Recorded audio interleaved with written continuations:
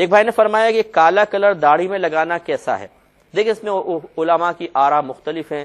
جو میں جن محققین کی تحقیق پر اعتماد کرتا ہوں، وہ جیسے اعلیٰ حضرت امام علیہ سنت بہت بڑے فقی ہیں۔ ہو سکتا ہے نظریاتی اعتبار سے بہت سے لوگ ان کی مخالفت کرتے ہوں، لیکن فقاہت کے اندر کوئی انکار نہیں کر سکتا کہ وہ بہت بڑے فقی گزرے ہیں۔ بہت بڑے فقی اور آپ نے کالے کلر کو یوز کرنا حدیثوں کی روشنی میں حرام قرار دیا یعنی مکرو تحریمی ہے۔ نبی کریم صلی اللہ علیہ وسلم کا فرمان موجود ہے جو کالے رنگ سے اپنے بالوں کو رنگے گا، وہ میدان معاشر میں جنت کی خوشبو بھی نہیں پا سکتا۔ تو اس قسم کے سخت وعیدات چونکہ موجود ہیں، اس لیے ہم تو یہی حکم ان بزرگوں کی، محققین کی تحقیق پر چلتے ہوئے یہ حکم دیتے ہیں کہ کالا رنگ استعمال نہیں کرنا چاہیے۔ لیکن اس کے برعکس بہت سارے علماء فقہ ایسے بھی ہیں جو کالے رنگ کے استعمال کو صحیح مصلیحت کی بنا پر جائز بھی قرار دیتے ہیں۔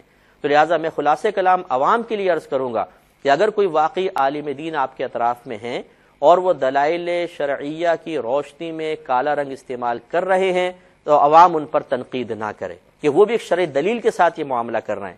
ہاں جب خود اپنے عمل کی باری آئے تو پھر آپ خود سوچ لیجیے کہ آپ نے کیا کرنا ہے۔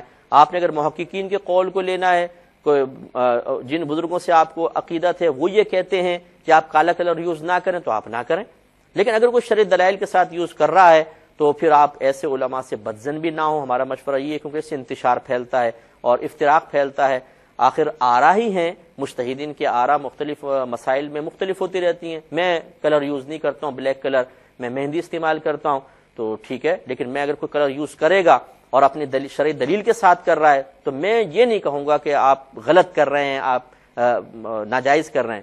ہاں عوام اگر کالا کلر یوز کرے گی، اس کے پاس کوئی دلیل نہیں ہے، تو ہم یہ غلط کہیں گے کہ آپ غلط کر رہے ہیں، آپ گناہ گار ہوں گے۔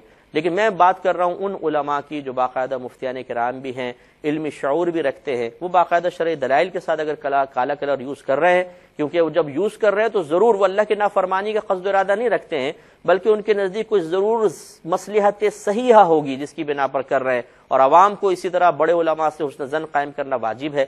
تو پھر ان کے اوپر آپ تنقید وغیرہ بھی نہ کریں۔